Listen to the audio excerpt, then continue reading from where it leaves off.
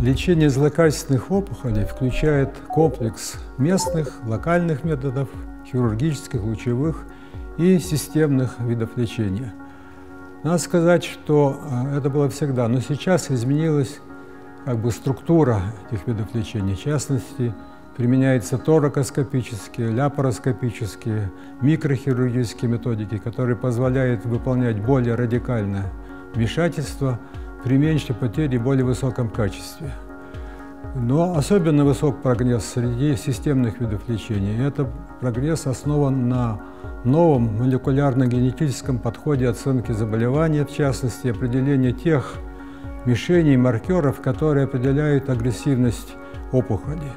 И разработка так называемых антител к этим препаратам позволила успешно выполнять таргетную терапию, которая резко улучшила результаты лечения, увеличила выживаемость пациентов пятилетнюю и десятилетнюю. Именно эти вопросы будут рассматриваться а, на предстоящем форуме «Белые ночи» 22 июня. Надо сказать, что в рамках любой стадии результаты лечения в Российской Федерации не уступают лучшим западным образцам. Но пока еще у нас недостаточно первых начальных стадий, которые в принципе излечимы.